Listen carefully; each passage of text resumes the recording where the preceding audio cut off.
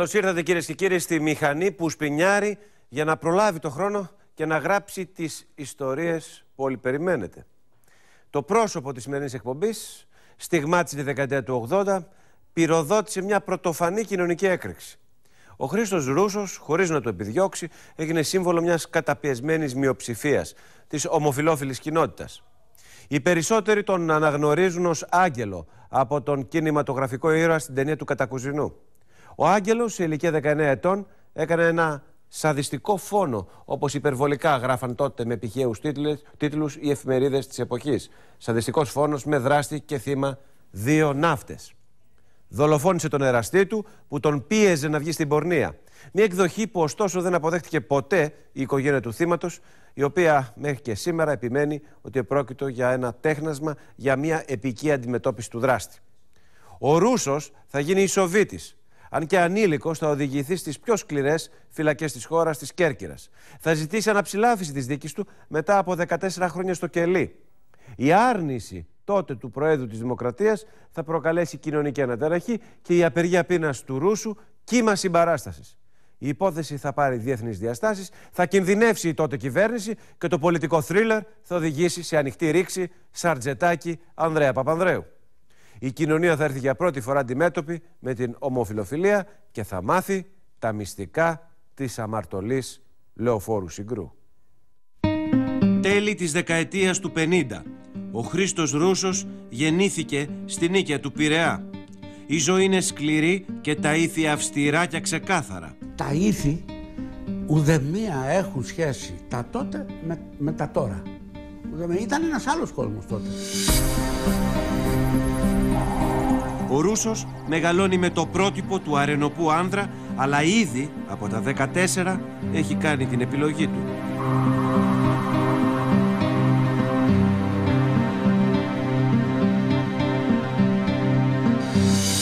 Στο Ζάπιο σε ηλικία 17 ετών γνώρισε τον άνθρωπο που έγινε σύντροφός του και σφράγισε τη ζωή του.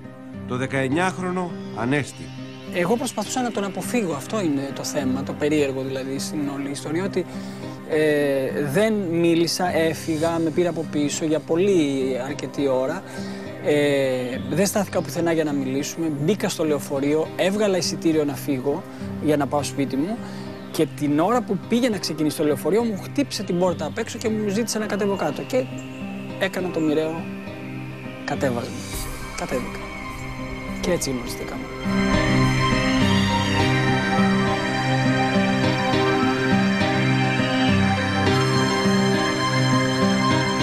Δύο χρόνια μετά και ενώ κάνουν τη θητεία τους στο ναυτικό, η σχέση τους περνά κρίση. Ο Ανέστης άρχισε να αλλάζει τα, το, τον τελευταίο καιρό. Τους τελευταίους μήνες ε, πριν γίνει ό,τι έγινε. Ε, ε, και ήταν, ήταν ε, οι, οι, οι μήνες αυτοί μαρτυρικοί για μένα, ήταν πάρα πολύ άσχημοι. Ο ένας ήταν στραβόγιανος, όπως λέγεται στην ναυτική μας γλώσσα, και ο άλλος ήταν απολυμμένος. Ήταν και αποθέσεις τέτοια ε, πιο επιβλητικός ο Ανέστης. Ο Ρούσος ισχυρίζεται ότι τότε ο Ανέστης του ζήτησε να φορέσει γυναικεία ρούχα.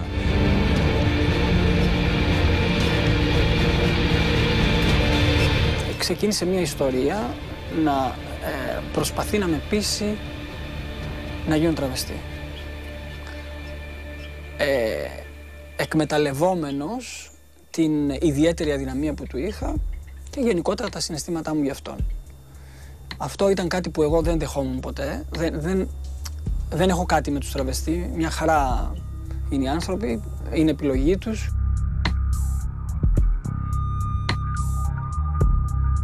Εκείνη την εποχή οι κοπέλες λειτουργούσαν όπως οι γυναίκες πόρνες της δεκαετίας του 50 και του 60 δηλαδή με τα βατζίδες. Ήταν αδύνατο να παραμείνουν μόνες τους, χρειαζόντουσαν προστασία και αν θέλετε μέσα σε αυτό το πλέγμα κινήθηκε και η σχέση του άγγελου. Εκείνος είχε φίλους.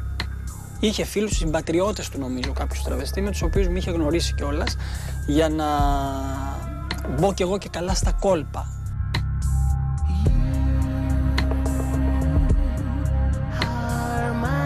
Όπως καταθέτει αργότερα στο δικαστήριο ο Ρούσος, ο Ανέστης απειλεί ότι θα τον εγκαταλείψει. Έτσι ένα βράδυ δοκιμάζει να του κάνει το χατήρι. Επιλέγει τις απόκριες για να δικαιολογήσει την εμφάνισή του. Έκανα μία δοκιμή, ε, μία πρόβα να δω τι γίνεται. Ακόμα μπήκε και η ιδέα στο μυαλό μου μήπως αλλάξουν τα πράγματα με τον Ανέστη αν έκανα κάτι. Αλλά δεν ήταν κάτι που μπορούσα να το αντέξω. Πολύ δύσκολο από την αστυνομία, από την αντιμετώπιση του κόσμου. Ε, ξέρεις τι γίνεται. Πάντα είναι 50-50. Ή περνάς και πολύ καλά, αλλά πληρώνεις και το τίμημα που περνάς καλά. Βγήκα απόκριες. Ε, πήγα προς τα εκεί ας πούμε και δεν έφυγα αμέσως και γύρισα σπίτι, ε, έσκησα αυτά που φορούσα, έκλαιγα και όλα. Δηλαδή ε, δεν, το, δεν το άντεχα, δεν μπορούσα να το αντέξω. Δεν τα θέλω, δεν τα θέλω, δεν αντέχω άλλο. Δεν τα θέλω, δεν αντέχω άλλο. Δεν αντέχω, δεν αντέχω.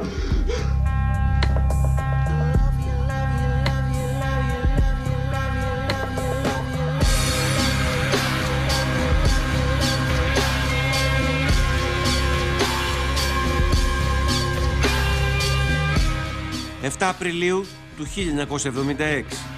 Την επόμενη ημέρα ο Χρήστος Ρούσος είχε αποφασίσει να φύγει. Και όλο αυτό μου είχε δημιουργήσει ένα τεράστιο άγχος, μια τεράστια ψυχολογική πίεση. Έφευγα για το άγνωστο, ήταν, σκεπτόμουν ότι είναι η τελευταία βραδιά που θα είμαι με τον Ανέστη.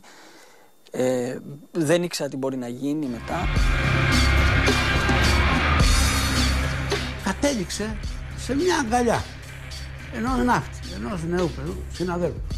Δεν περίμενε ότι κι από εκεί θα δοκίμαζε το χαστούκι της ε, εκμετάλλευσης.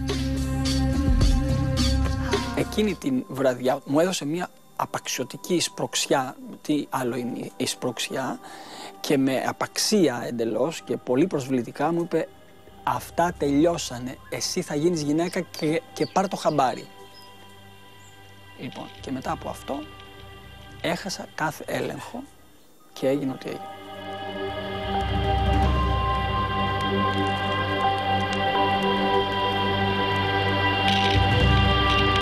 Δεν, δεν κατάλαβα. Δεν, δεν είχα συνέστηση του τι είχε γίνει, του τι είχα κάνει. Δεν. Ε, ζούσα κάτι, κάτι άλλο, δεν ξέρω.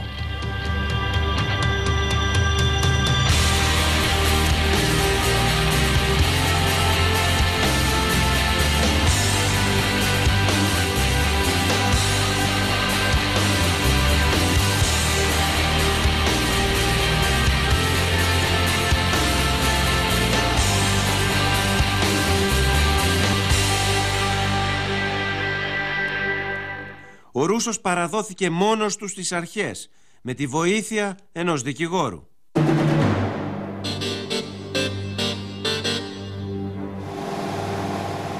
«8 Απριλίου 1976. Ο φόνος του νεαρού ναύτη από τον εραστή του είναι πρωτοσέλιδο παντού. Ο Ρούσος περιγράφεται ως σαδιστικός φωνιάς που σφάζει σαν αρνί τον εραστή του με μαχαίρι επειδή θα τον εγκατέλειπε. Καταρχήν η γλώσσα της εποχής εκείνης, την εποχή διάπραξης του εγκλήματος, ήταν ε, γλώσσα με βαρβαρισμούς. Όλοι ήταν εναντίον του Ρούσου, διότι θεωρείται ότι ένας ομοφιλόφιλος, ένας περιθωριακός, ένας πεταμένος από το κοινωνικό σύνολο έκανε ένα έγκλημα, άρα πρέπει και εμείς να το δολοφονήσουμε. Ο δημοσιογράφος Κώστας Τσαρούχας θυμάται την αστυνομία να παίζει πρωταγωνιστικό ρόλο στο διασυρμό του ενόχου. Κάθε φορά που έπιανε κάποιον, μας τον, φορά παρτίδα μας τον έφερε εκεί μπροστά να το φωτογραφίζουμε, να τον κάνουμε, να το διασύρουμε με τις χειροπέδες.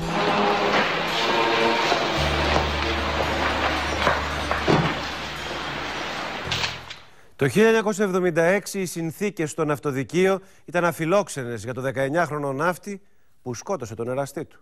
Δημοσιογράφοι που κάλυψαν την δίκη θυμούνται με απόσταση 25 χρόνων ότι το κλίμα ήταν βαρύ για τον νεαρό κατηγορούμενο, ο οποίος εκτός από το φρικτό έγκλημα έπρεπε να απολογηθεί και για τις ερωτικές του προτιμήσεις. Κυρίες και κύριοι, σε λίγο η συνέχεια.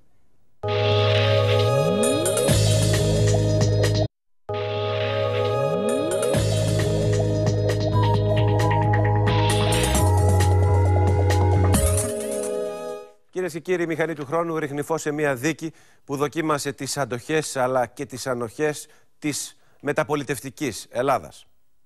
Ο 19χρονο ναύτης Χρήστος Ρούσος είναι πρωταγωνιστής σε ένα έγκλημα πάθους.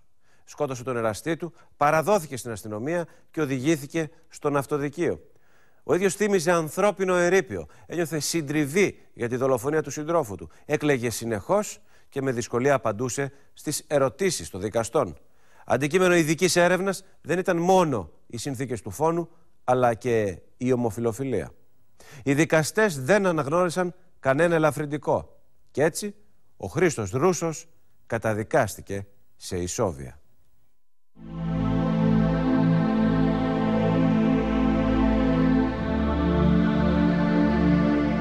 Ο Ρούσος οδηγείται στον αυτοδικείο Πυραιός. Κατηγορούνταν για δύο εγκλήματα. Τη δολοφονία ενός ανθρώπου και την ομοφιλοφιλία. Εγώ νομίζω ότι καταδικάστηκε από την, από την κοινωνική συνείδηση. Ήταν αδιανόητο να μην καταδικαστεί και με έγκλημα ένας, να μην πούμε και τη λέξη που χρησιμοποιούσαν τότε, ένας άνθρωπος σαν τον Χρήστο. Αν μια πόρνη σε ένα νόμιμο ή μη μπορντέλο έσφαζε τον ταβατζή της, θα αντιμετωπιζόταν με μια κάποια επίοικια. Ένας μάρτυρας τόλμησε να πει ότι είναι ομοφιλόφιλος και ο ίδιος. Την άλλη μέρα οι εφημερίδες τον διαπόμπευσαν. «Τα καρκινώματα» είναι ο υπότιτλος και το ρεπορτάζ αναφέρει. Ο Ρούσος έκανε μια απολογία αποκάλυψη για τον κόσμο των ανομάλων της Αθήνας. Δύο από αυτούς κατέθεσαν και σαν μάρτυρες στη δίκη. Ο ένας μάλιστα ήταν ιδιαίτερα προκλητικός. Όταν ο πρόεδρος του ναυτοδικείου τον ρώτησε διακριτικά αν ανήκει στο κύκλωμα, εκείνος απάντησε. Γιατί το λέτε κύκλωμα, δεν τρέπομαι να το πω. Ναι, είμαι ομοφιλόφιλος. Και ήταν το μοναδικό παιδί που δεν φοβήθηκε, που αψήφισε τα πάντα και είχε αυτή την τόλμη και το θάρρος να έρθει να υποστηρίξει το φίλο του. Και ήταν και ένας από τα λίγα παιδιά που έκανα παρέα και ήξερε τι γίνεται με τον Ανέστη. Η αστυνομία δημιούργησε την εικόνα ότι οι δύο νέοι ζούσαν σε σπίτι οργείων όπου κυριαρχούσε το πορνοσέξ σε φωτογραφίες στους τοίχους, τα ηρεμιστικά χάπια και η βαριά ατμόσφαιρα της διαφθοράς.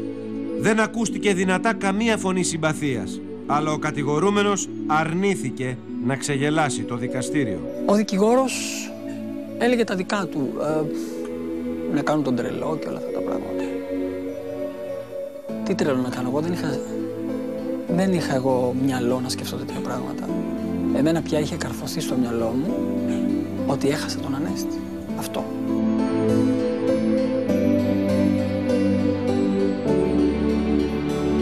Ο Ρούσος δήλωσε μετανοημένος, αλλά ο επίτροπος του ναυτοδικείου ζήτησε την επιβολή της ποινής του θανάτου. Τουλάχιστον ένα ελαφρυντικό που ήταν ο πρώτερος έντιμος βίος, δεν είχε ξαναδικαστεί, δεν, δεν. Ε, αυτό δεν το αναγνώρισα με το αιτιολογικό, δεν αναγνωρίζουμε το ως ελαφρυντικό το πρώτερο έντιμο βίο του κατηγορουμένου, διότι ήταν ομοφυλόφιλος. Στην περίπτωση του Άγγελου ήταν ε, πάνω από 3, 4, 5, 6, πολλά. Δηλαδή, το πρώτερος έντιμος βίος, πρώτα απ' όλα. Μετεφηβική ηλικία. Α, εμβρασμό ψυχής. Δηλαδή πόσοι άνθρωποι φτάνουν στο έγκλημα διότι κάποιος τους έχει οδηγήσει σε αυτό. Η θανατική ποινή είχε καταργηθεί de facto από τη Χούντα. Έτσι, η αυστηρότερη τιμωρία ήταν τα ισόβια. Βεβαίως το, το έγκλημά του είναι έγκλημα, άγριο έγκλημα και τόσο πιο άγριο όσο έγινε σε συνθήκες πάθους. Βέβαια, αναμφισβήτητα είχε αφαιρέσει μια ζωή και σίγουρα δεν θα είμαι αυτός ο οποίος θα εκμηδενήσει ή θα ισοπεδώσει το θέμα ότι ένας άνθρωπος έχασε τη ζωή του. Η Σόβια στον ναύτη που σκότωσε τον εραστή του μία δίκη σοκ, διαβάζουμε στις εφημερίδες. Παραδειγματική ποινή, αυστηρή ποινή, δίνουμε δηλαδή ένα μήνυμα στη νέα γενιά τότε ας πούμε ότι προσέξτε μην γίνετε έτσι γιατί θα γίνετε δολοφόνοι. Ταυτόχρονα τιμωρούμε μια συμπεριφορά και μια προσωπικότητα και κατά τρίτο το λόγο ε, εφησυχάζει ο, ο άλλος κόσμος που δεν είναι έτσι, άρα δεν σκοτώσει. Στο άκουσμα της ποινής, η μητέρα του Ρούσου καταραίει και ο ίδιος παθαίνει ιστερία. Άκουσα λοιπόν το γδούπο της μητέρας μου που λιποθύμησε και έπεσε και άκουσα που την, που, το όνομά της που λέγανε και εκεί με έπιασε μια ιστερική κρίση όπου για να με κάνουν καλά ε, μου ακινητοποίησαν τα χέρια σε κάτι κάγκελα για να μπορέσουν να με, να με, να με και έφεραν κάποια μυστικά από δίπλα από το νοσοκομείο.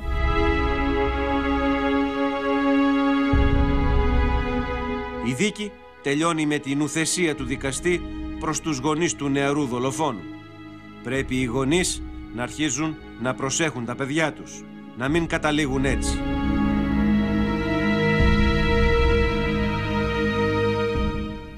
Η υπόθεση του Χρήστου Ρούσου συγκλονίζει, σοκάρει την κοινωνία της μεταπολίτευσης.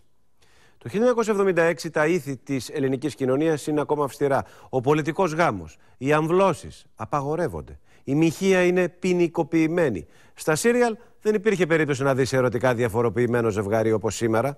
Αντίθετα, η ομοφιλοφιλία αντιμετωπίζεται ως ανομαλία. Εκείνη την εποχή κάνουν την πρώτη τους εμφάνιση στη λεωφόρο Συγκρού εκδιδόμενοι ομοφιλόφιλοι άνδρες με γυναικεία εμφάνιση. Γνωστή ως τραβεστή. Οι αρχές δίνουν αυστηρές εντολές για ανελαίτες διώξεις. Οι κάτοικοι της Καλυθέας καταγγέλουν ότι φοβούνται πια να βγουν από τα σπίτια τους το βράδυ.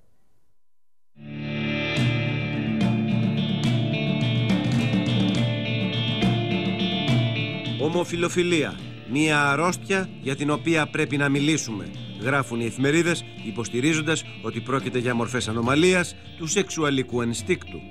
Οι ομοφιλόφιλοι αντιμετωπίζονται ως κοινωνικό μίασμα. Ήταν εγκαιτοποιημένοι κατά κάποιο τρόπο, ήταν γελιοποιημένοι, ήταν περιφρονημένοι. Η ομοφιλοφιλία είναι ποινικοποιημένη στη συνείδηση του κόσμου. Απολύτως. Και σε έναν βαθμό παραμένει και σήμερα. Σε έναν βαθμό παραμένει και σήμερα. Και μπορεί να παραμένει και για πάντα. Η κοινή γνώμη διάβαζε για διαπιστώσεις επιστήμονος που έλεγε «Επιδημία εις Ηνωμένες Πολιτείες η ομοφιλοφιλία» και κατέλεγε στο συμπέρασμα ότι η μόνη αποτελεσματική θεραπεία είναι η ψυχοθεραπεία. Οι γονείς προτιμούσαν να αποκηρύξουν τα παιδιά τους παρά να δεχθούν ότι δεν είναι ετεροφιλόφιλα. Πού ο γιος μου; Θα αντικρίσω τον κόσμο, την κοινωνία. Έχουμε περιπτώσεις, έχουμε δίκη στο δικαστήριο όπου ένας γονιός έλεγε δεν τον θέλω πια γιο μου ας πούμε. Καταδικάστε τον σε θάνατο. Δεν το θέλω πια για γιο μου.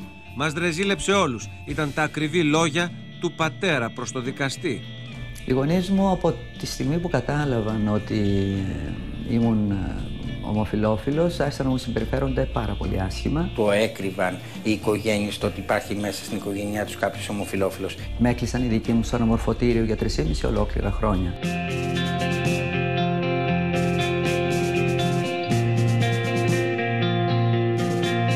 Όποιος δήλωνε τη διαφορετική σεξουαλική του ταυτότητα δεν μπορούσε να βρει ούτε εργασία. Μόλις έβλεπαν, ούτε καν ρωτούσαν αν έχουν κάποιο προσόν, κάτι τίποτα. Αμέσως ήταν, ήταν το γκέτο το αόρατο, αλλά το πολύ μεγάλο.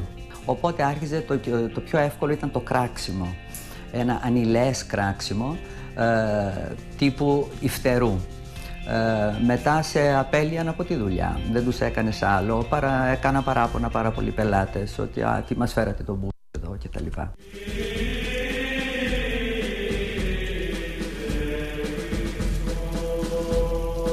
Ακόμα και η Εκκλησία που διδάσκει την αγάπη προς όλους ήταν αρνητική και μάλιστα κατά τας σγραφάς.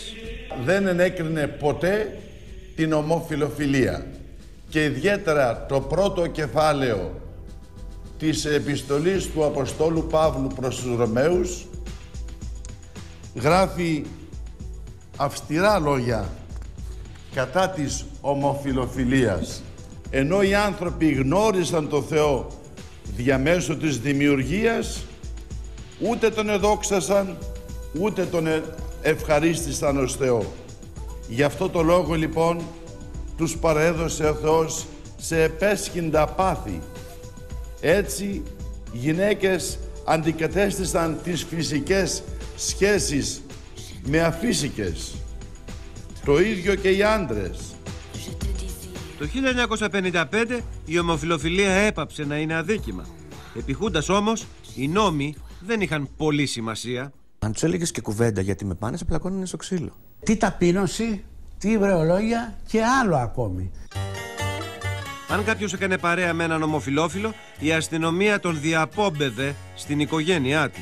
Θυμάμαι ήταν 12.30 μία η ώρα το μεσημέρι και περί... προχωράγαμε στην Πανεπιστημίου και σταματάει ένας αστυνομικό, δύο αστυνομικοί. Ταυτότητες. Δείξαμε ταυτότητα. Εμένα δεν μου έδωσε σημασία γιατί εντάξει, με έβλεπε τι ήμουν. Εσύ τι γυρεύεις με τον μπουρ. Ανώμαλος εκεί σαν γι' αυτόν, ξεφτυλίσανε το παιδί. Και όχι μόνο ξεφτυλίσανε το παιδί, μας πήγανε στο τμήμα και που το παιδί ήταν ενήλικος και πήραν και την οικογένειά τηλέφωνο. Ξέρετε, κυκλοφορεί με ένα τραβέλι. Με ένα τραβέλι, δεν τη λέγανε αυτή τη λέξη. Με ένα ανώμαλο στους δρόμους, λέει. Μαζεύτε το. Να ειδοποιήσετε το σπίτι του. Όχι! Όχι! Όχι! Όχι!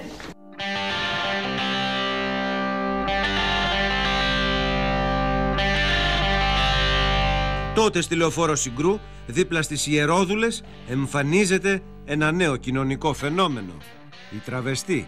Εκείνα τα χρόνια, εκείνη τη δεκαετία, η λεωφόρος Συγκρού εξελισσόταν σε ένα περίεργο, πολύ φανταχτερό και σκοτεινό και φανταχτερό ε, κέντρο, ε, κέντρο ε, διατιμημένου έρωτα.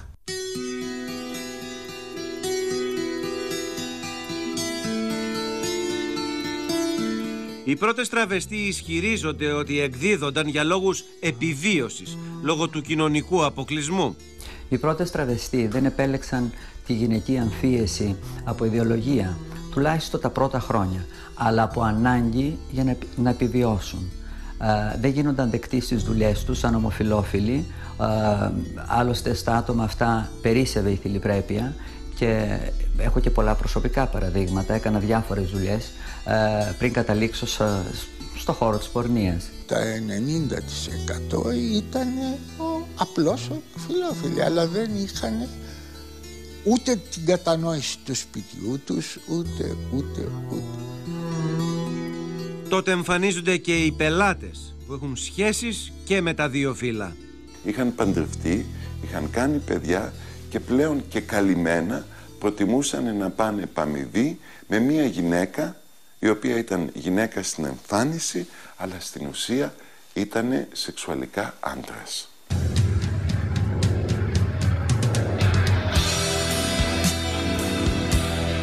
Σοκ είναι η μόνη λέξη που περιγράφει την αντίδραση της ελληνικής κοινωνίας.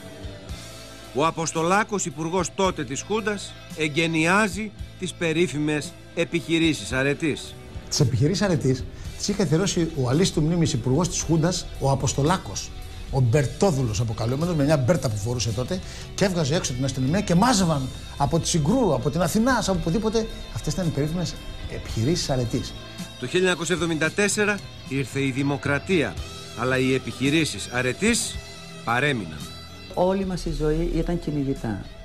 Όλη μας η ζωή ήταν κλούβες να μας μαζεύουν, ε, περιπολικά να μας αναγκάζουν να κάνουμε σλάλομ, σλάλομ στη λεωφόρο Συγκρού, να καταφεύγουμε σε γνωστές καφετέριες ώστε να μην μας ε, χτυπήσουν τουλάχιστον.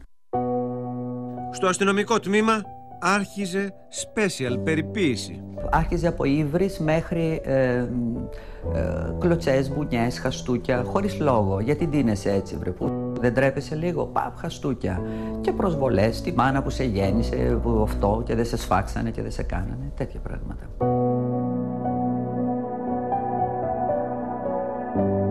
Καταστρεφόμαστε οικονομικά. Δηλαδή, το τι λεφτά έχουν πληρώσει οι τρανς στο κράτος δεν περιγράφεται.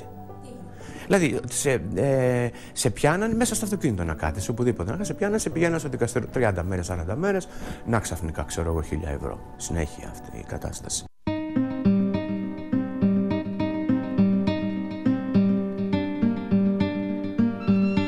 Αναμφισβήτητα όμως η ανδρική πορνεία ανέβασε κατακόρυφα στην περιοχή το δίκτυ της εγκληματικότητας. Πρώτα ήταν οι ταβατζίδες οι οποίες χτυπούσαν και άρπαζαν τα χρήματα. Ήταν, ε, ε, ήταν ε, άνθρωποι οι οποίοι έκαναν σχέσεις με ανθρώπους ή με γυναίκες και όταν πηγαίναν να κοιμηθούν κάπου τους λύστευαν. Προστάτες, άνθρωποι της νύχτας με παραβατική συμπεριφορά, καυγάδες και κλοπές αναστάτωσαν τις γειτονιές της Λεωφόρου Συγκρού. Ενδεικτικό το ρεπορτάζ εκείνης της περίοδου. Νεκροθάφτης, λίστευε τραβεστή. Με την νεκροφόρα ψάρευε τραβεστή στη Λεωφόρο Συγκρού και μετά τους λίστευε ο εργολάβος Κηδιών. Ε, λέγανε οι άνθρωποι ότι κλεινόμαστε μέσα στα σπίτια μας και από κάποια ώρα και μετά φοβό- φοβόμαστε να κυκλοφορήσουμε τη νύχτα. Και, και μάλιστα πολλοί άνθρωποι σκεφτόντουσαν ας πούμε και το πρόβλημα ότι και τα παιδιά τους ακούν που θα γυρνούσαν το βράδυ στο σπίτι ανησυχούσαν για την τύχη τους ας πούμε. Το 1983 τα συνοικιακά συμβούλια της Καλιθέας εξεγείρονται εναντίον των τραβεστή. Η Καλιθέα δεν θα γίνει σόχο. Είναι το σύνθημα των κατοίκων που φωνάζουν SOS κινδυνεύουμε. Ε, Ήταν μια περίοδος που είχαν δημιουργηθεί πάρα πολλά προβλήματα ιδιαίτερα στην περιοχή πίσω από τον υπόδρομο και στη Δοηράνης παράλληλης της Συγκρού. Το αίτημα των κατοίκων ήταν να απομακρυνθούν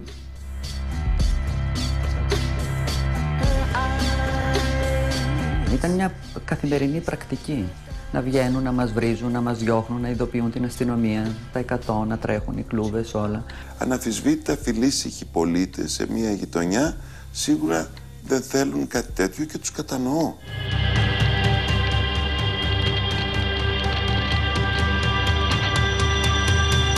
Μία ομάδα τραβεστή κάνει διαδήλωση διαμαρτυρίας έξω από το Δημαρχείο Καλιθέας. Μαζευόμασταν και διαμαρτυρόμασταν. Πότε έξω από τα δημαρχία, πότε έξω από κάποιο αστυνομικό τμήμα που κρατούντο και βασανίζοντο για δι- δύο μέρες ή τρεις μέρες κάποιες τραβεστοί. Οι επαφές και ο διάλογος είχαν αποτέλεσμα.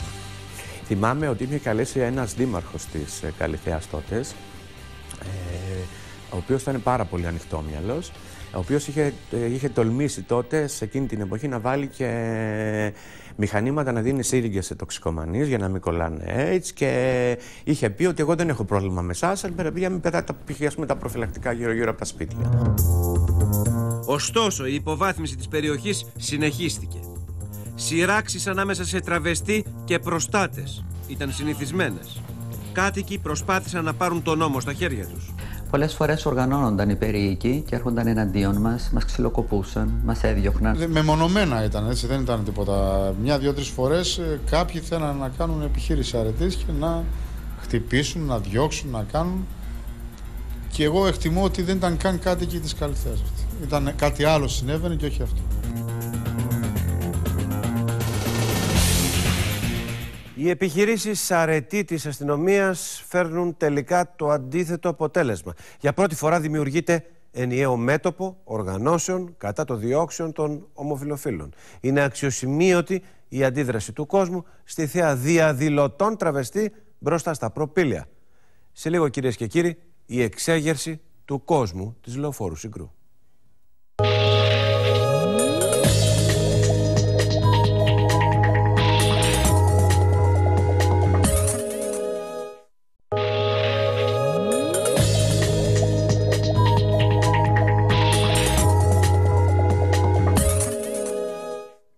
Στην Ελλάδα της μεταπολίτευσης η λέξη εξορία προκαλούσε ρίγη στην κοινή γνώμη.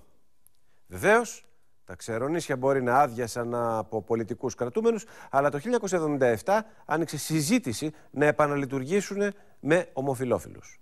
Το νομοσχέδιο αναστατώνει όχι μόνο τους ταμώνες του Ζαπίου και της Συγκρού, αλλά και μεγάλο μέρος της κοινωνίας. Προέβλεπε την ποινικοποίηση της ομοφιλοφιλίας και εκτοπισμό όσων εκδίδονται για λόγους δημόσιας υγείας. Στη φωτογραφία της εποχής από τις διαδηλώσεις στα Προπύλα και σε άλλες περιοχές, το σύνθημα γράφει και είναι συγκεκριμένο. Έξω το κράτος από τα κρεβάτια μας. Ομοφιλόφιλοι και μέλη της εξοκοινοβουλευτικής αριστεράς ιδρύουν το ΑΚΟΕ, δηλαδή το απελευθερωτικό κίνημα Ομοφιλοφίλων Ελλάδος, που με δυναμικές κινήσεις μάχεται επί περίπου μία δεκαετία για την αναγνώριση των δικαιωμάτων τους.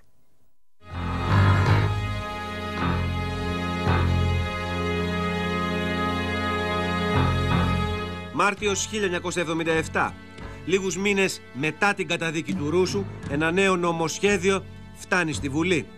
Προβλέπει συλλήψεις, ακόμα και εκτόπιση των ομοφιλοφίλων για λόγους δημοσίας υγείας.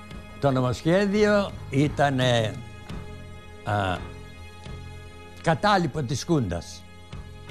Το οποίο η πρώτη κυβέρνηση Καραμαλή με τρία-τέσσερα υπουργεία αποφάσισε να το συζητήσει με πρόσχημα τα Αφροδίσια νοσήματα. Αυτό άρχισε να μας εισπυρώνει.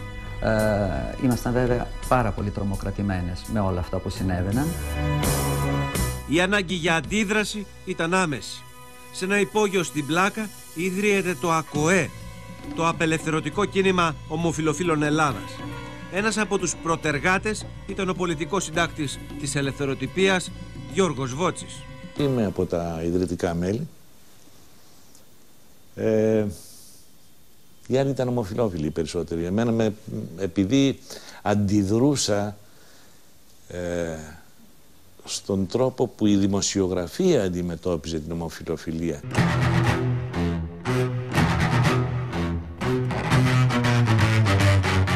Ωστόσο, τα πιο πολλά μέλη του κινήματος κρύβονταν πίσω από τις μάσκες για να μην αντιμετωπίσουν την προκατάληψη της γειτονιάς τους. Ο μόνος επώνυμος ήμουν εγώ εκείνη την εποχή, ο οποίος και δεν φορούσε μάσκα. Τα περισσότερα παιδιά του ΑΚΟΕΜ φορούσαν μάσκες. Για να μην τους δει ο κόσμος. Τα μέλη του ΑΚΟΕ προβαίνουν σε δυναμικές κινήσεις. Πρώτος στόχος, ο τύπος.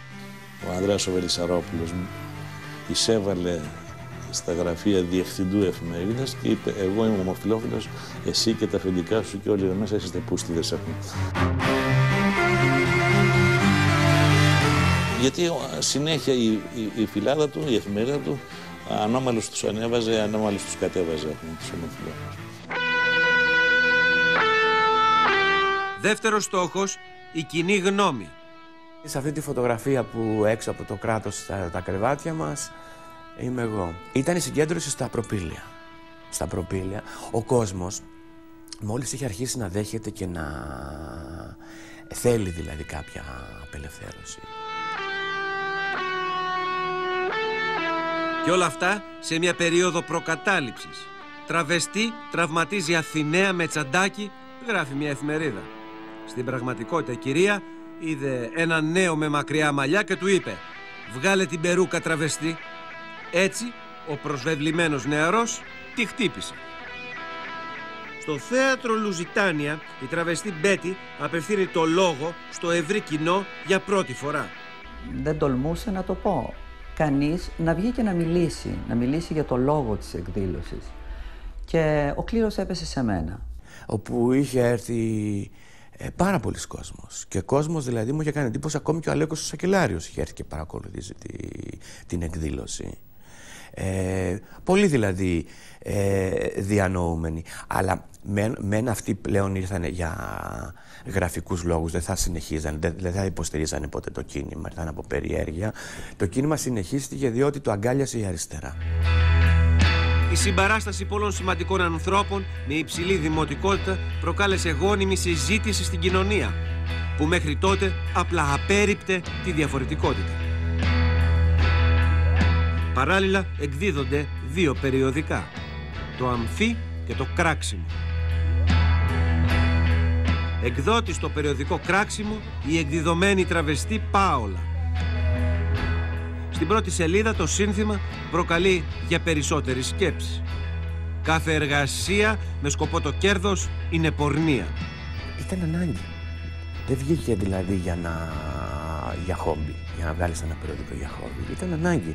Δηλαδή, ε, σε θεωρούσαν σκουπίδι. Σε θεωρούσαν, δηλαδή, ε, με, α, α, μου, μου είχε κάνει εντύπωση το ότι παρόλο που έβγαζα το κράξιμο, παρόλο που είχα αποδείξει ότι και ξέρω να διαβάζω και ξέρω και να γράφω και ξέρω και να κάνω καλές συνεντεύξεις, με πιάνουν και μου λέγανε Εσύ τα έγραψες.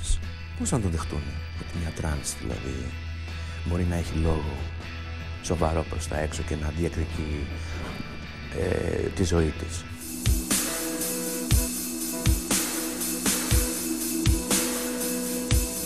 Ένα σκίτσο του Ζαν Κοκτό οδηγεί την Πάολα στα δικαστήρια περί ασέμνων. Ήταν μάρτυρες υπεράσπιση, θυμάμαι σε μια δίκη, ήταν και ο Ταξής και η Κατερίνα Γόγου. Και ε, ο Ταξής μίλησε ότι είναι ένας σκίτσο του Κοκτό, είναι γνωστό και γυρνάει και του λέει ο πρόεδρος δικαστήριου ποιος είναι ο Κοκτός; Το έγκλημα και η καταδίκη του Χρήστου Ρούσου ήταν ένα σοκ για την ομοφιλόφιλη κοινότητα. Ομολογώ πως παγώσαμε και παγώσαμε γιατί φοβηθήκαμε αμέσως τις συνέπειες. Πιστέψαμε ότι θα άρχιζε, όπως και έγινε, ένα πογκρόμ συλλήψεων και καταδιώξεων από την αστυνομία. Άλλωστε μέχρι τότε μας ξένησε το ότι ένας ομοφιλόφιλος ε, σκότωσε κάποιον γιατί μέχρι τότε είχαμε συνηθίσει στην ιδέα οι ομοφιλόφιλοι και οι τραβεστοί να είναι τα θύματα. Ο νόμος περί εκτοπίσεων δεν ψηφίστηκε ποτέ και με τα χρόνια οι κοινωνικοί αγώνες έφεραν αποτέλεσμα. Δεν εξαλείφθηκε εντελώς η προκατάληψη, αλλά οι τραβεστοί και οι ομοφιλόφιλοι έπεισαν την κοινωνία ότι η τήρηση των νόμων δεν είναι μόνο για τους straight. Ένα από τα συνθήματα που έκαναν εντύπωση στις διαδηλώσεις το 1977 έλεγε «Έχουν και οι ομοφιλόφιλοι ψήφο. Σκεφτείτε το». Είναι προφανές ότι κάποιοι πολιτικοί αργότερα το σκέφτηκαν και άλλαξαν στάση. Η οργανωμένη αντίδραση έδωσε δύναμη και ισχύ στην φωνή των περιθωριοποιημένων μέχρι τότε του έρωτα. Η υπόθεση του Ρούσου στάθηκε αφορμή για την πρώτη κοινωνική εξέγερση. Στην επόμενη εκπομπή θα δούμε τι επακολούθησε μετά τον εγκλισμό του κινηματογραφικού άγγελου στις απάνθρωπες φυλακές της Κέρκυρας. Πώς ξεκίνησε από εκεί η εξέγερση των κρατουμένων για καλύτερες συνθήκες διαβίωσης, αλλά και ο ρόλος του Ισοβίτη Ρούσου. Ο ίδιος στη δεκαετία του 80 συγκίνησε την κοινή γνώμη ξεκινώντας απεργία πείνας με έτοιμα την αναψηλάφιση της δίκης του. Η υπόθεση δημιούργησε μείζον πολιτικό θέμα όταν ο πρόεδρος της Δημοκρατίας, κ. Χρήστος Ατζετάκης, αρνείται να προσυπογράψει τη χάρη που δίνει η κυβέρνηση του Πασόκ. Η πολιτική ρήξη είναι απρόβλεπτη. Η συνέχεια, κυρίες και κύριοι, το ερχόμενο Σάββατο. Ευχαριστούμε που μας παρακολουθήσατε. Να είστε όλοι καλά.